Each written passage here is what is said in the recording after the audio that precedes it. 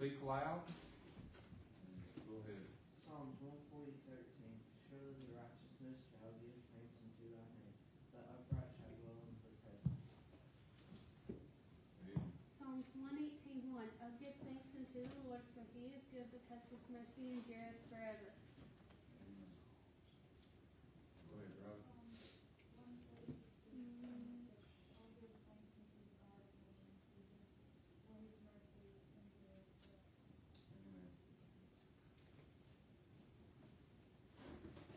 Enter into his gates with thanksgiving and into his courts with praise. Be thankful unto him and bless his name. Amen. Oh, give thanks to the Lord of lords, for his mercy endureth forever.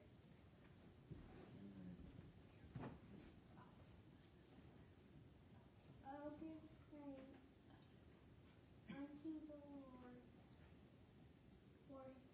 and his mercy endureth forever. Good. He's got another round. Yeah. All right, let's stand and sing, and we'll make it, and do another round in a minute. All right, here we go. Stand and sing. Appreciate that. I love those verses on thanks. I'll tell you, we need to come through this door, these doors. I know it's November, and it's think, we think about Thanksgiving, giving thanks. We ought to do it all the time. We'll, uh, we'll go another round again. At Calvary, thankful for Calvary, aren't you? Amen. Years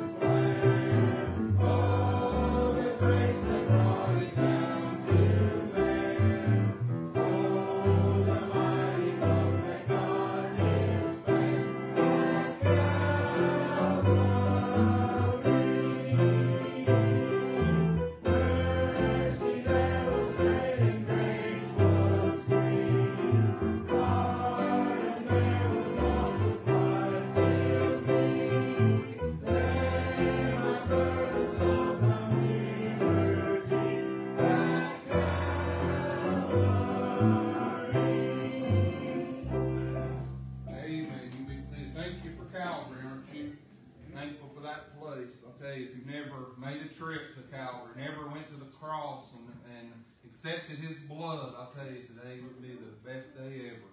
Uh, I'll tell you, thankful for the place of Calvary. Uh, go ahead, Gary, uh, and bless the arm. Our Father, we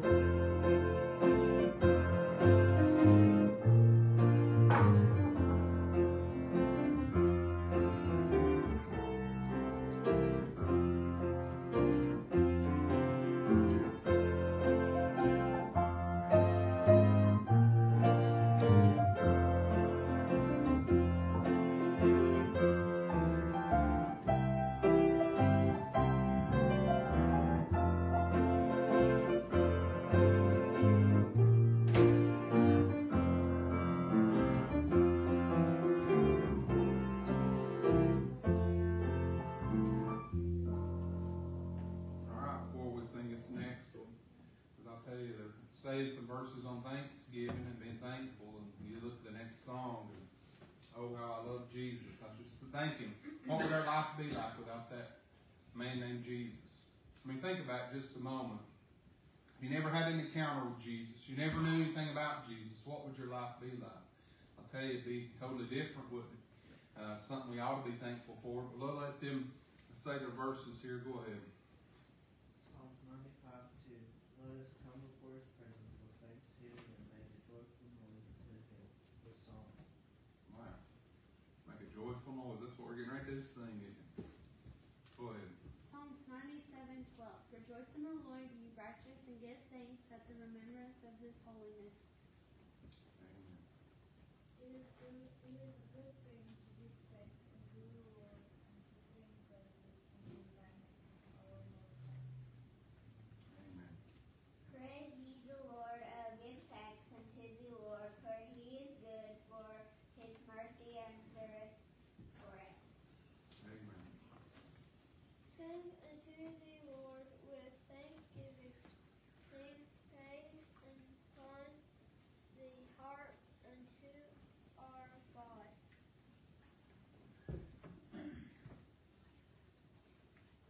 Oh, give thanks unto the Lord for his good.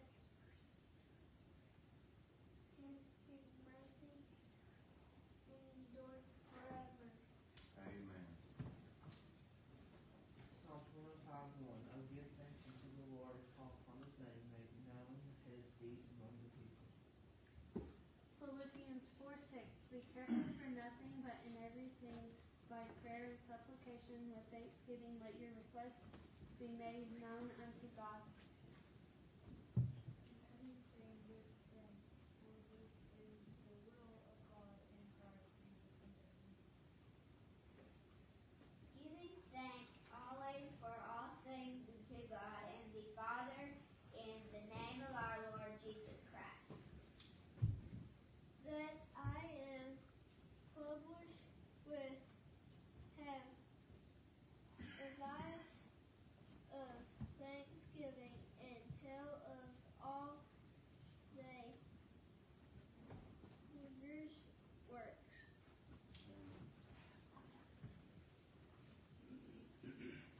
Sing to the Lord, O ye saints of his, and give thanks in the name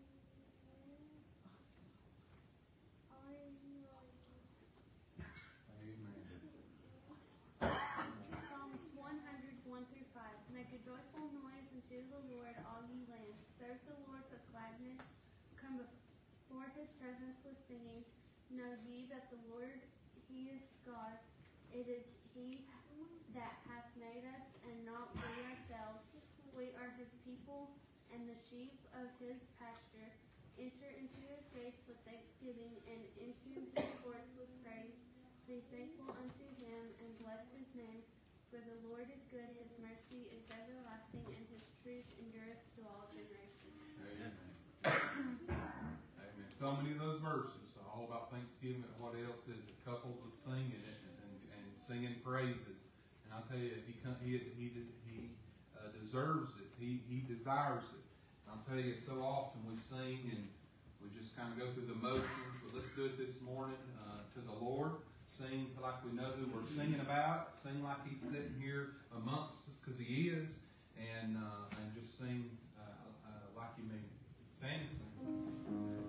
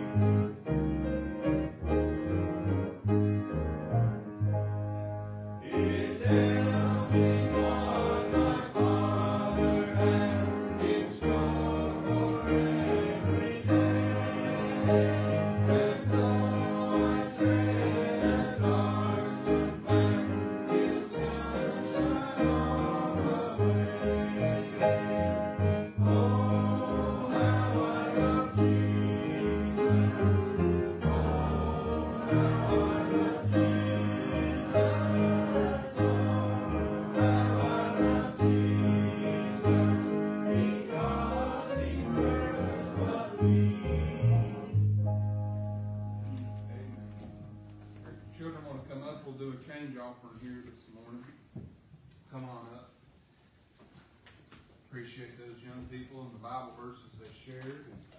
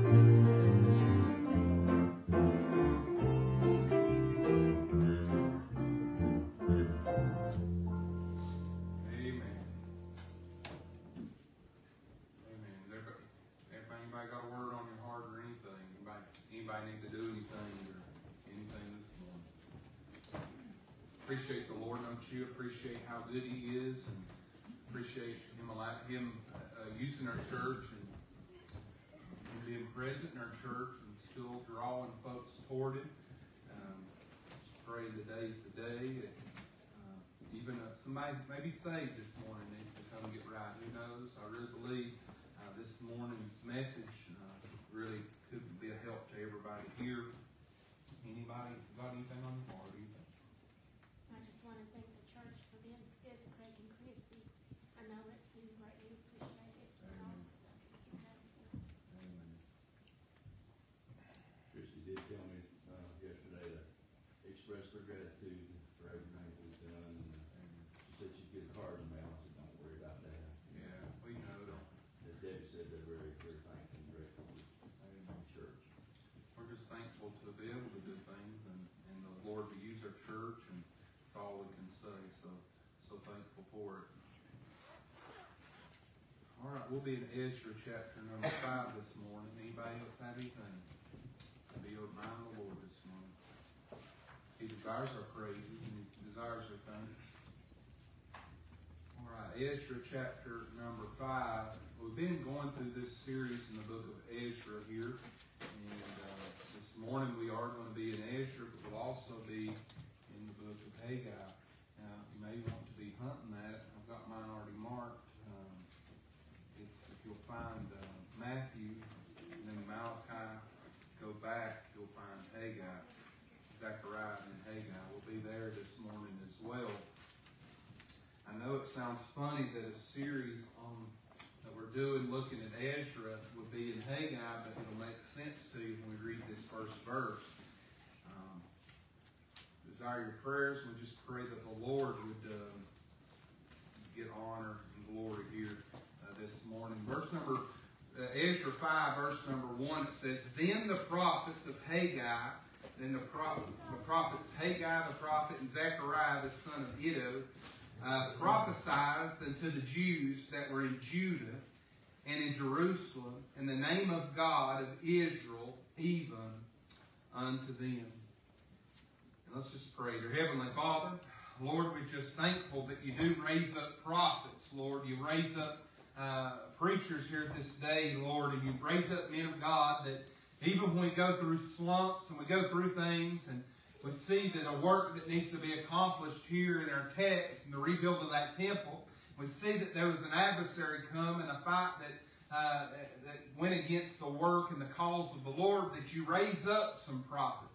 You raise up some men to get things back on track, Lord. And it isn't nothing about the men, but it's about you and getting your word across. And I thank you, Lord, for it.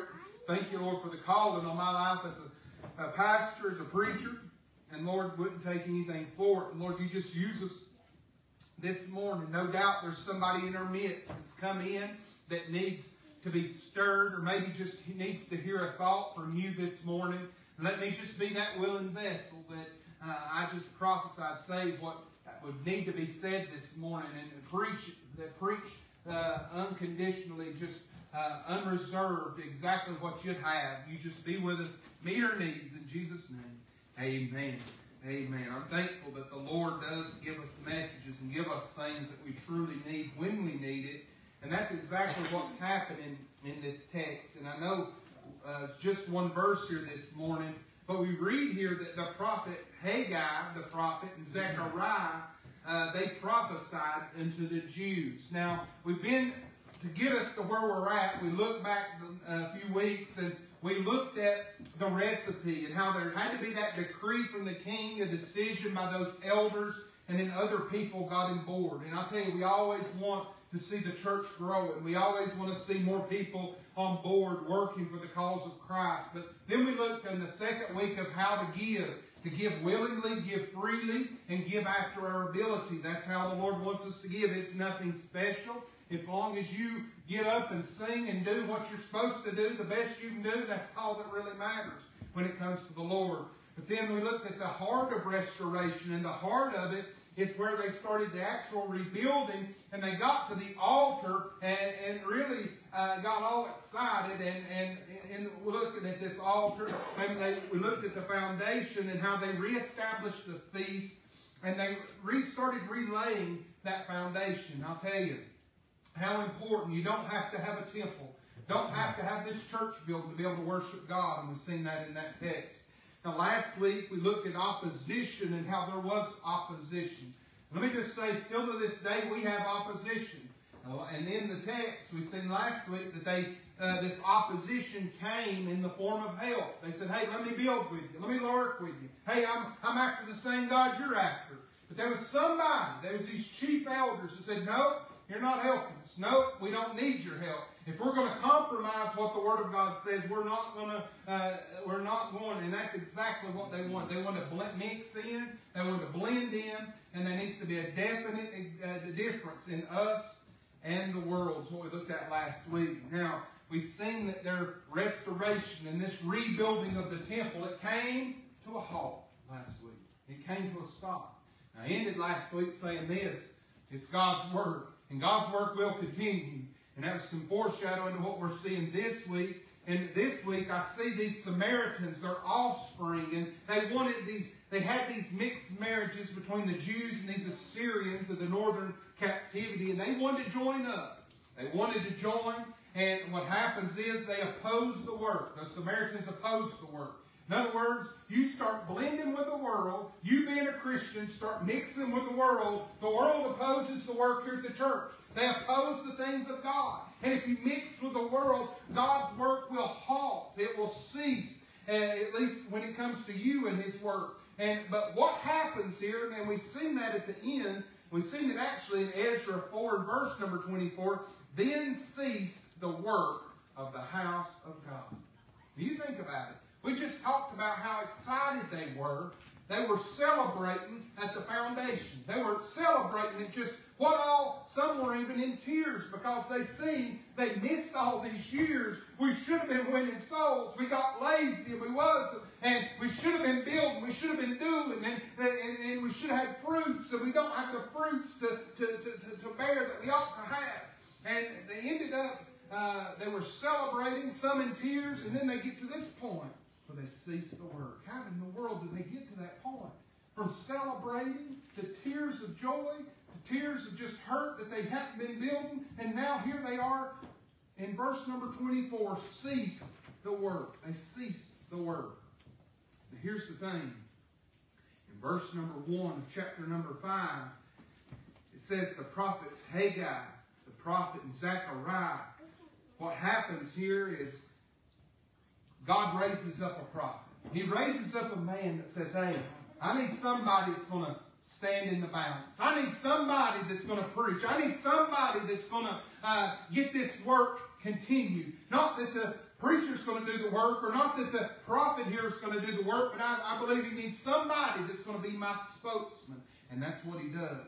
Now, we're going to have to look at the book of Haggai to understand that, and that'll be chapter number one we see the, the, the command to rebuild this temple. If I was going to title this message here, I would say the restoration is renewed. That rebuilding of the temple is going to get renewed. It ain't, they done started at one time, they're getting ready to renew it. Let's look at Haggai in chapter number one and verse number one. It says, In the second year of Darius the king, in the sixth month, in the first day of the month, came the word of the Lord by Haggai the prophet unto Zerubbabel, the son of Shealtiel, the governor of Judah, and Joshua, and the, uh, Josedech, and the high priest, saying. So here comes, uh, here comes Haggai, and he's coming. With, they're coming with a message here, and it's coming from the Lord. And it, it, it says that here in the text. In verse number one, it says, "Came the word of the Lord." Aren't you glad that in a dark moment? Aren't you glad when, uh, when things it seems like are spiraling out of control? Aren't you glad that sometimes that when, when it seems like there ain't no way out, there ain't no escape, and there ain't no way to get back on track? My gosh, it's unraveled. My gosh, we were doing so good, now look. That the word of the Lord can come. The, Lord, the word of the Lord can be sent from heaven above, and it gives them the command to rebuild. It says in verse number one, in the middle of that verse, Haggai, the prophet, says, came the word of the Lord. It came the word of the Lord. In verse number two, look what it says. Thus speaketh the Lord of hosts, saying, The people say, The time is not come, but the time that the Lord's house should be built. What's being said here is we're at the time where the work of the Lord, it, it ought to be the, our first priority. The work of the Lord has to, has to uh, come to fruition. In other words, uh, the, time, the time has not come, but the time is come. You say the time has not come. You say that there's been this adversary, but guess what? The time is here, the time is now, and the time has come where the work of the Lord has to continue. And he sends a man of God to say that and tell the people. So the work of the Lord is in this standstill. And in verse number three, look what it says. And then came the word of the Lord by Haggai the prophet, saying. So they're in this place, and they said the word, the work is not, there's, there's no time for the work of the Lord. We've had this opposition. We've had a battle. And then in verse number three it says, And then come the word of the Lord by Haggai the prophet, saying, Is it time for you, O ye that dwell in your sealed houses, and to this house lie waste? See, God, it works even when they're not working. See, in verse number two, it says, The time has not come. They say it's, it's not here, you're not working. You're not uh, you're not building on this temple. They're not restoring what God wants to be restored. And then he raises up, raises up that prophet. He raises up that prophet with the word of the Lord. It's nothing much, nothing more than the, the word of the Lord, and that's exactly what we need. And God wants a temple built. God wants uh, this work to be renewed. And God's going to send that messenger. He sends His word to the people to say, hey, I want you to renew this building. I'll tell you, look around this church, and God's not done with this place. He's not finished. He's not, he's not even close to being finished. And I believe the same message goes to us right now, and God's sending a message, and He's sending a message to us, and He says, Yes, you had that revival. Yes, you've been through a lot since.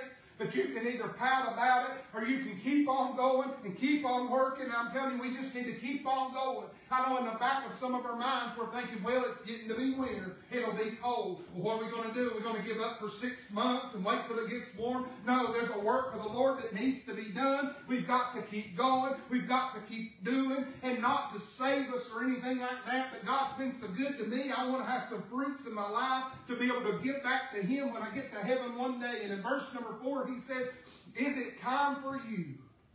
He says, It's time for you. You better wake up. Because look at what this says. And I'm telling you, this is, it gets a little deep here. It says, O ye to dwell in your sealed houses. He calls it sealed houses, and that's interesting this morning. Those sealed houses is referring to the roof, and it was paneled with fine woods. Now they're not talking about the temple. The temple isn't completed. The temple don't have that sealed roof. That temple don't have everything that it has. But these fine woods is a practice among the residents. Residences, and specifically it's a practice among the kings during this time. Meaning you had to be somebody to have these sealed, uh, these sealed roofs, these, the, these nice houses. Uh, just as, as a background, in 1 Kings 7 and 7, when talking about Solomon's porch, it says, And he made a porch from the throne that he might judge, and the porch of judgment was covered with cedar.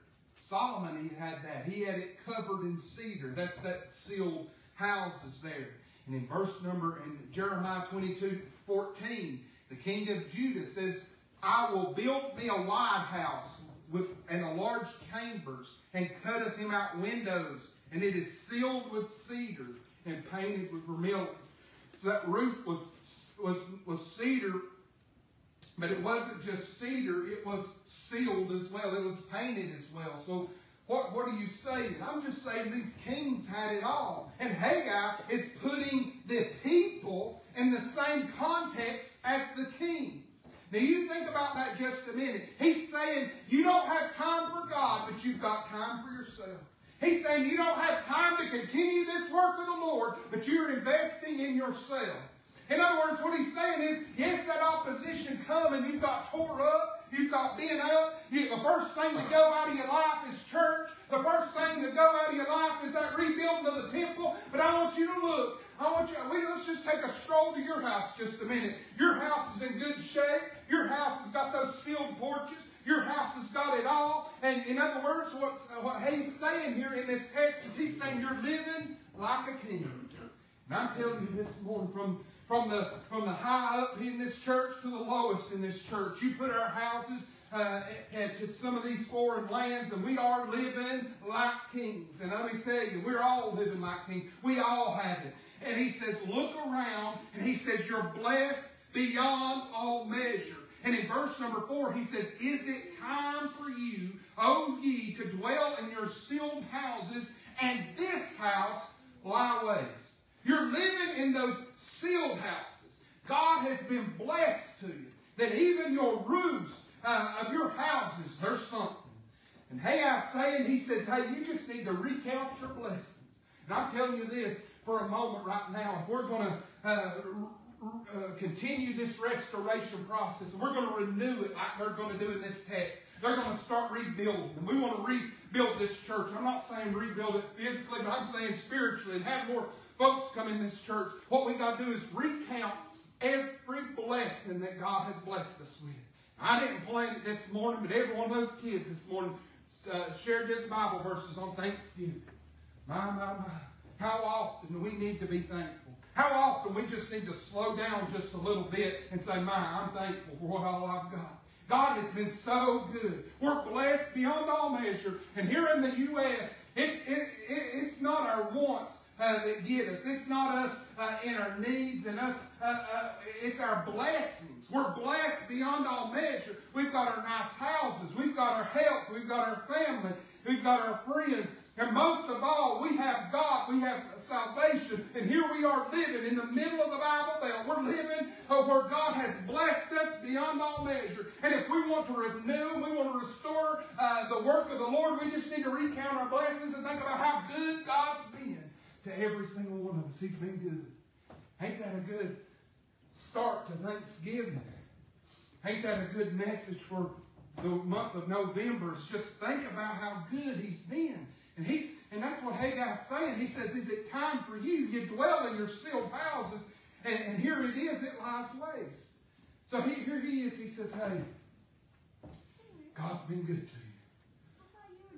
God's wanting his work to be redone. He's wanting some families here and here and here. And he's wanting this temple rebuilt in the text. He says the first thing you need to do is you just need to count all the things God's done. You need to count all the blessings that God's done. Start with that. When you have a bad day, you just start with all the blessings.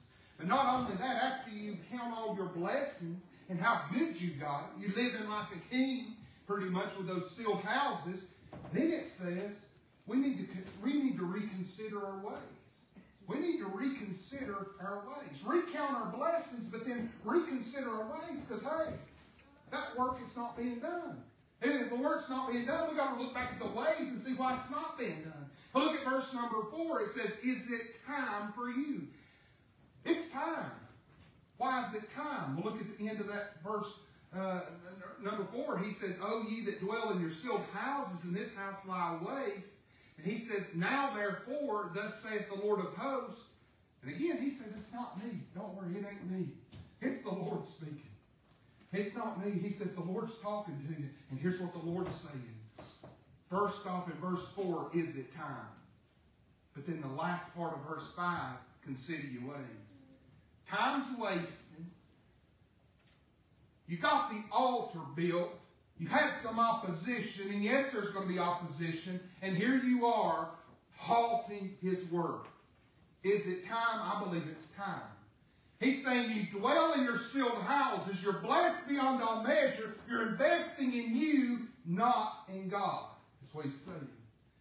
But then he says, while you're so blessed, you dwell in your sealed houses, this house lie waste. This house ain't what it ought to be.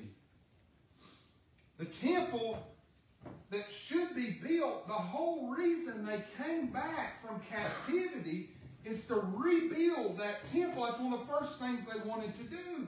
But now that temple that they started lie waste.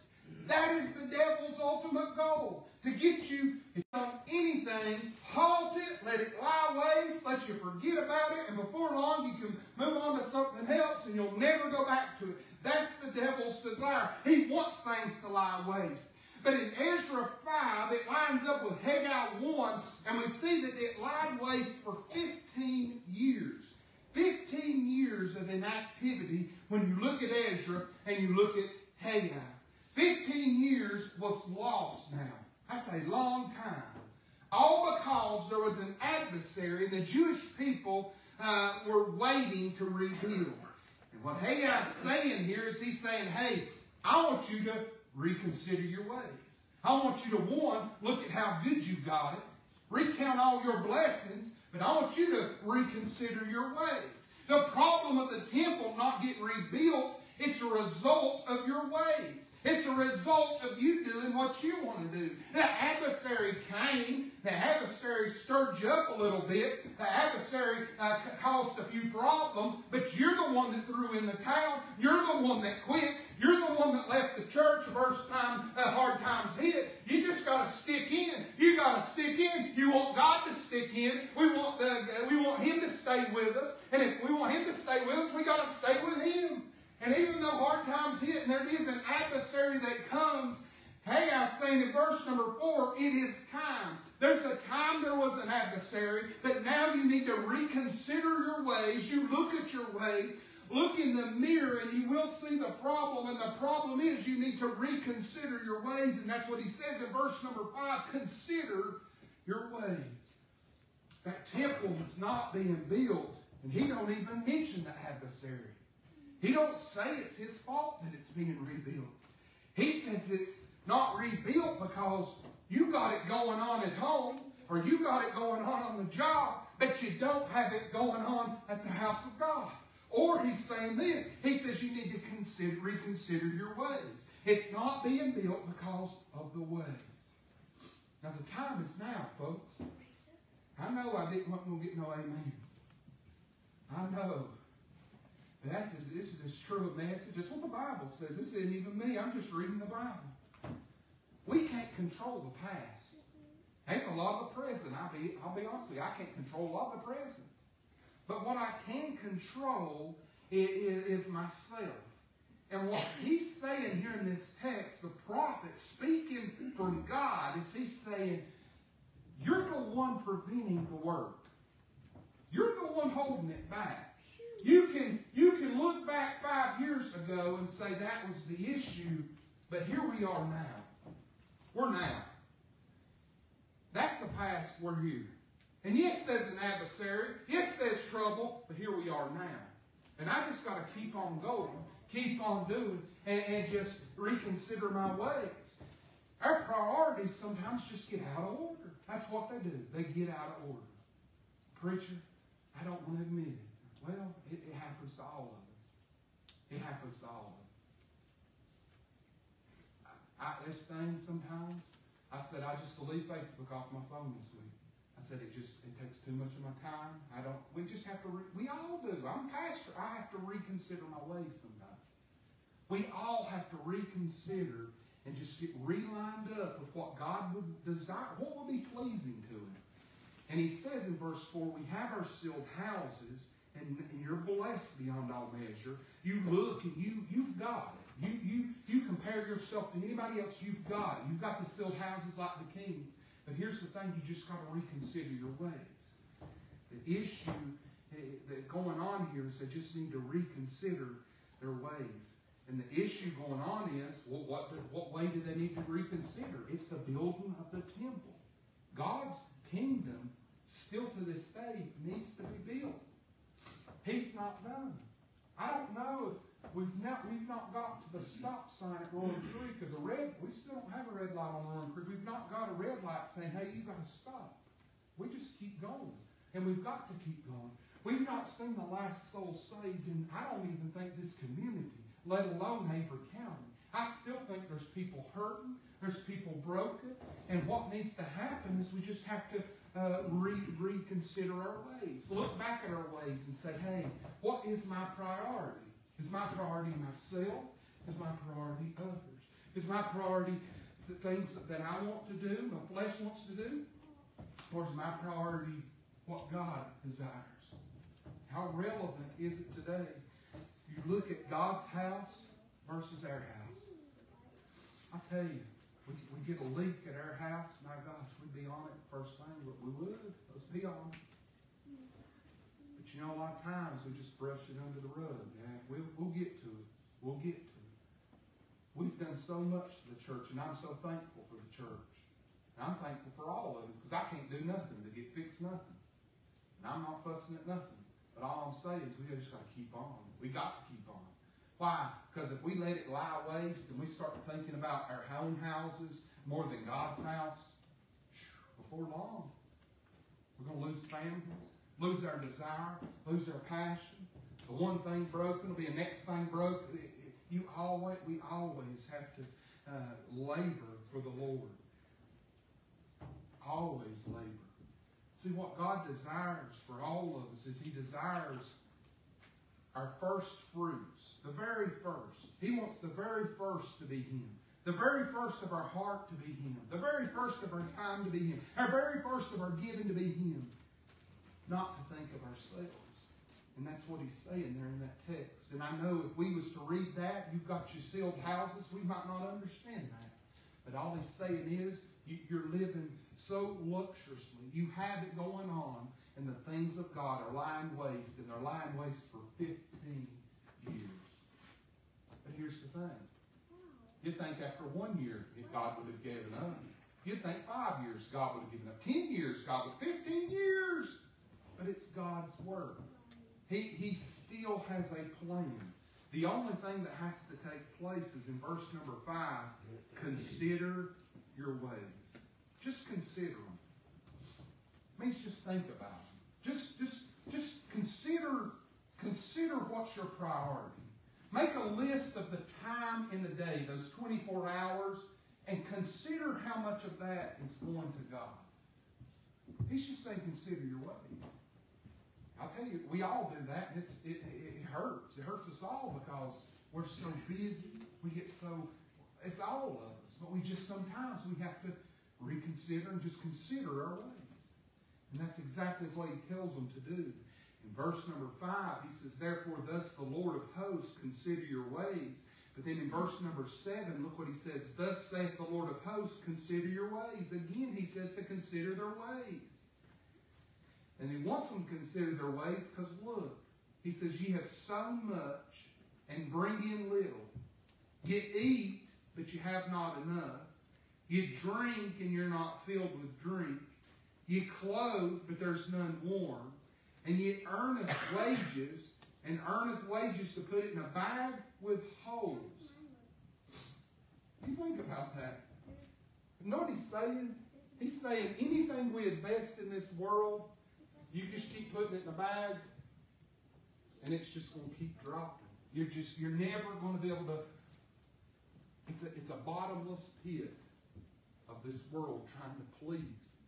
Just reconsider what. Get, get back to the things of God. In other words, you've got drink, but you're, you're always thirsty. You're, all, you're always eating, but you're never full. You're filling up those bags with your wages, and the bags got holes in them. There, you never have enough. That's why he's saying, reconsider your ways. We cannot forget that this is not the prophet sending the message. This is God. The word is coming from the Lord. In verse number one, look what it says. It says in verse number one, it says, came the word, came the word of the Lord by Haggai. In verse number two, it says, Thus speaketh the Lord of hosts. In verse number five, it says, Thus saith the Lord of hosts. In verse number seven, it says, Thus saith the Lord of hosts. He's just a messenger. I'm just a messenger this morning. And I think in 2022, we we we was we was just praying over the last few years. I just want things to get back to normal. I don't want to have to wear that mask forever. I just want things to get back to normal. Here they are. They are normal. Yes, the work seemed like it halted. You couldn't go visit people in the hospital. We couldn't go knock on doors. We was afraid of bringing something. But now we're back to some normalcy. God has brought things front and center, and the message is coming from the Lord, and He's saying, hey, just consider your ways. Once you, number one, recount your blessings, number two, just reconsider your ways. Seems like time goes so quickly, don't it? I told them in Sunday school, we got one month and it'll be Christmas near. That's amazing to me. Time is so, so fast. Each day passes. But he sent these messengers after 15 years, and I'd say the same thing happened to them. Ah, we'll do it next week. Ah, we'll do it next month. And before long, a year's passed, five years passed. And the longer time passes, the less likely that stuff is to getting done. Man, how we need to re, restore and rebuild and renew Lastly, this, this morning, we see here that you recount how good God's been to you. And then we've seen that we reconsider the ways and said, hey, I want to look at the way I'm going. That way's not right. Well, what's the last thing that we need to do? We just need to renew our work for the Lord. Renew our fruits. Have, have fruit for the Lord. Because there comes a time sometimes we, we do get off track. And we do need to reconsider our ways and get back on track. And as a result, we got to re, re, just renew our work.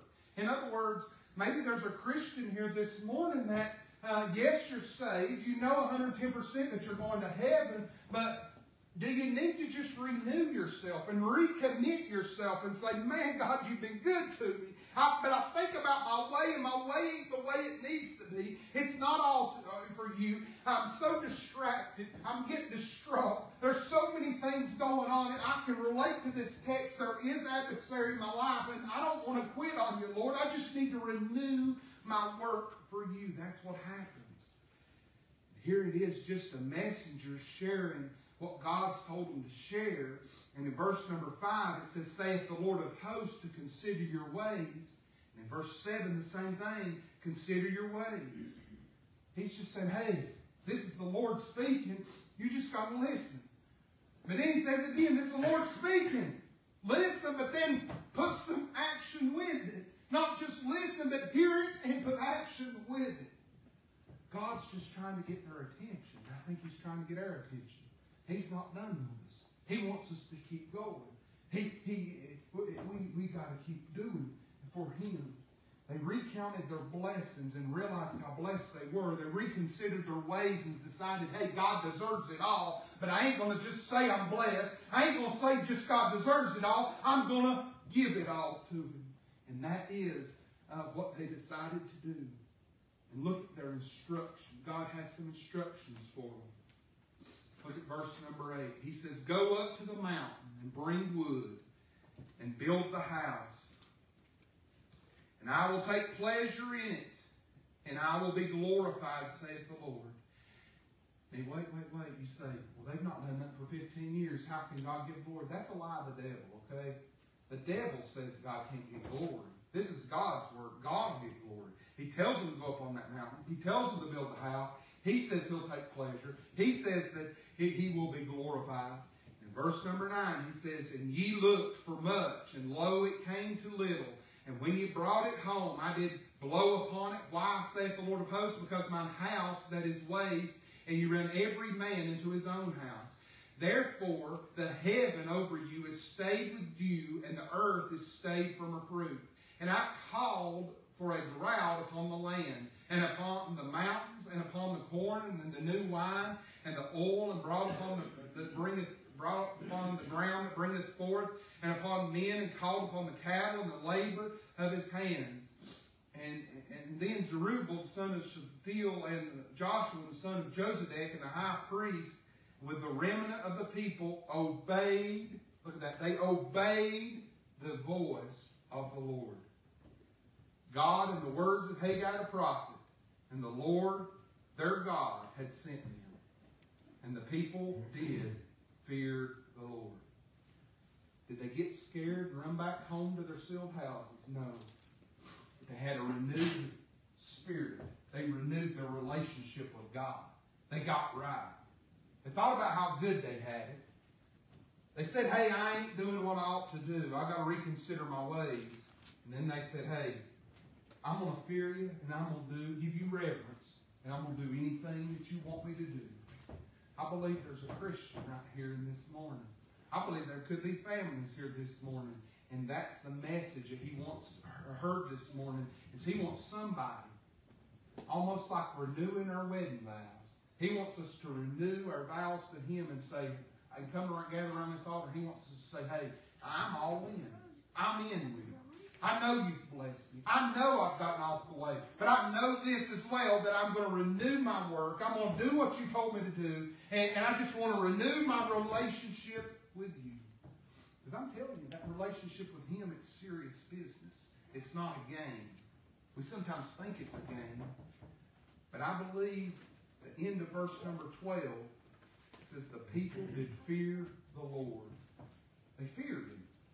Why is that? Because it's real. It is real. The message this morning is no different than the message coming from the prophet in the text. And he's just saying, hey, it's lying waste. We could use a youth leader. We could use a psalm leader. We could use a Sunday school teacher. We could use a prayer warrior. We could just use a, your young kids, a young family. We could use this. We need this. Why quit? Why give up? Just reconsider our ways. Let's get back on track. And, and have fear for, of God. Have enough reverence of God to say, My gosh, Lord, you created it all. You can give it all. But He's going to use us in the process. And He wants to use us. He, he wants us. Question is this morning, do you have fruit in your life? Do you, do you have uh, fruit in your life? Or who are you living for? Are you living for God or are we living for ourselves?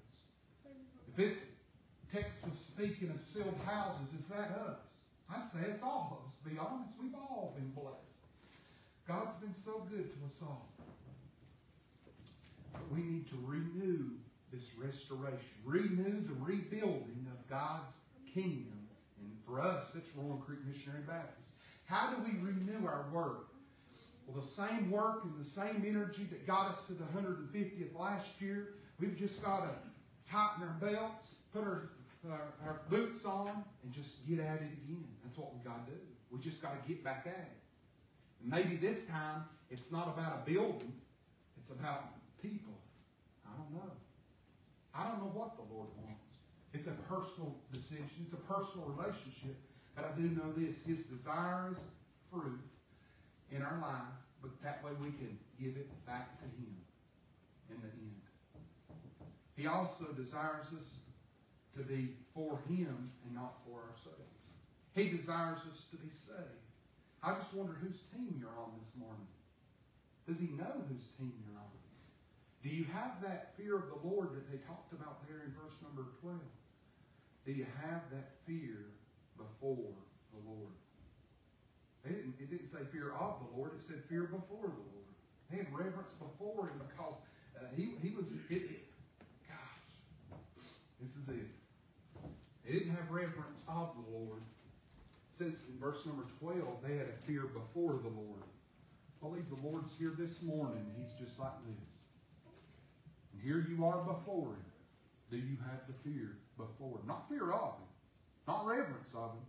I'm just saying, I believe He's here this morning. And I believe He gave us this message this morning. And before Him, with the line drawn, do we have that fear? What should we do? What do we need to do? Have Gary go to the piano and play something softly. That's the message this morning. You just mind